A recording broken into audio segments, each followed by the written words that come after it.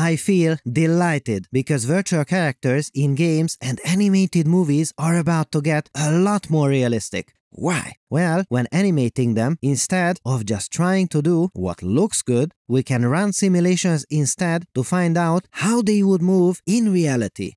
Nothing new about that. We've been doing this for decades now. However, get this, these simulations can go down to the level of muscles. That is incredible. But there is one big problem. What is the problem? Well, cost. It takes a long time to compute. Just imagine we are going down to the level of muscles and soft tissues and compute the interactions of millions of little triangles. And we repeat that for every time instant. And you have to make sure to avoid all of these awkward collisions too. Mm, yes, we still have to wait a lot for a high quality result, so this is hopeless for a real time application. But wait, remember these super resolution techniques out there where in goes a coarse image and out comes a really detailed result. Synthesizing details with AI techniques is now possible. But this is for images, not for 3D models. And are you thinking what I am thinking? Oh yes, why not do super resolution but in 3D? Yep, that is exactly what this paper does. This is super resolution for simulations. In goes this really coarse, blocky result and what comes out? Probably nothing good, right? Let's see. Oh my, that is absolutely fantastic. So, how much faster is this? 10x? 15x? Nope. This makes the whole process more than a hundred times faster. Yes, something that took an all-nighter now only takes 5 minutes and what used to take a minute now takes less than a second. That is amazing. So, that was easy, right? Just throw an AI at the problem and there we go. Well, nope. Not so fast. Dear fellow scholars, this is 2 Minute Papers with Dr. Károly Zsolnai Fehér, episode 942. If you just try a coarse simulation and upscale it, you will get a completely different result because the topology of your model is different than the real detailed model. You are simulating a completely different person. How would that be useful? But they did it somehow. So, how?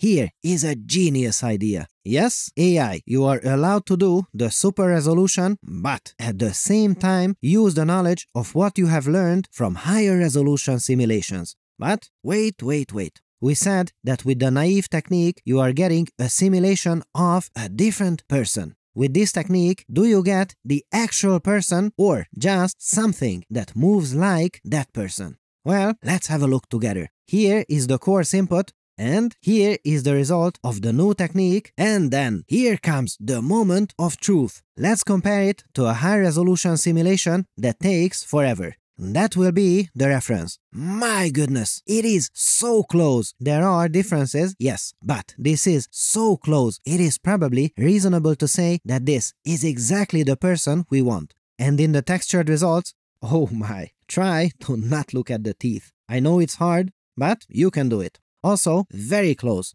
Just avoid the teeth. So, it works by looking at pairs of low and their corresponding high-resolution simulations and tries to learn as much from them as possible. But then, what about unseen expressions? Can it do that? The paper is really selling the fact that it generalizes to unseen expressions and I have to be honest, I am not so keen on these results, they are a little too wobbly for me. But wait a second, this result hides a secret. I am seeing something that is incredible. Do you see it too? There is no nose deformation information in the training data of this system, and when the nose moves in the input, it also synthesizes realistic, tiny, little deformations in the output.